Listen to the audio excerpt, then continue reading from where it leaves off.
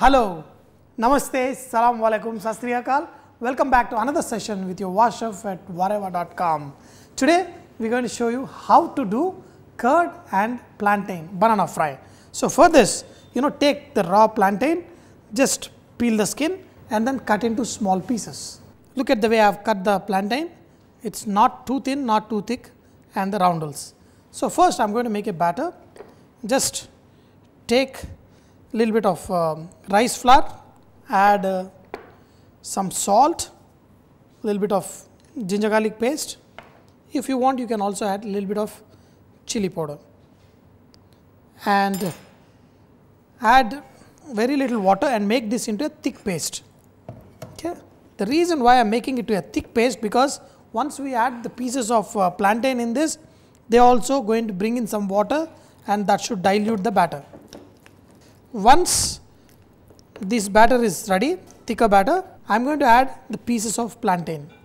Just make sure drain out as much water as possible and put the plantains in this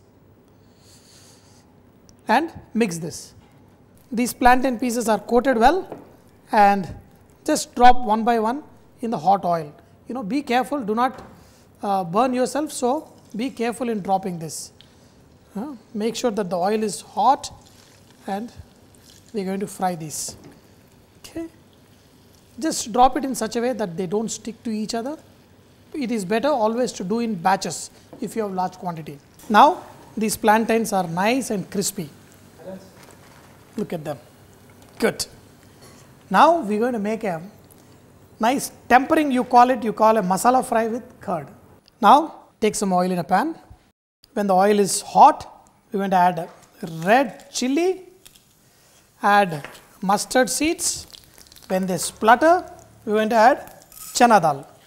You want the chana dal to slightly, you know, fry.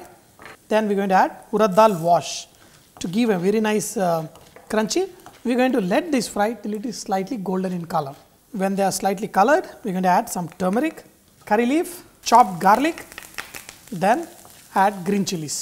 Also add salt and add chili powder pepper powder and some chopped coriander. Just mix this little bit and add curd. Do not add too much, add little and we are going to let this cook and we are going to kind of make it little bit dry. Now we are going to add the plantain that is the our raw banana fry. And now we are just going to toss it and you have this awesome curd and plantain fry. Wow, look at this. If you want, you can just squeeze in a little bit of lemon juice. Ah, somebody, okay, that's good. And toss it again. That's it. Switch off the flame.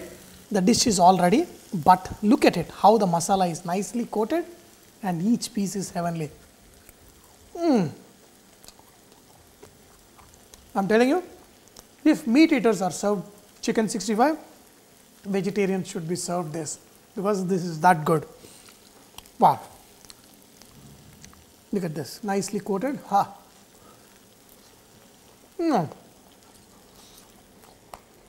Only thing is, make it fresh, serve it fresh, and you will enjoy it thoroughly.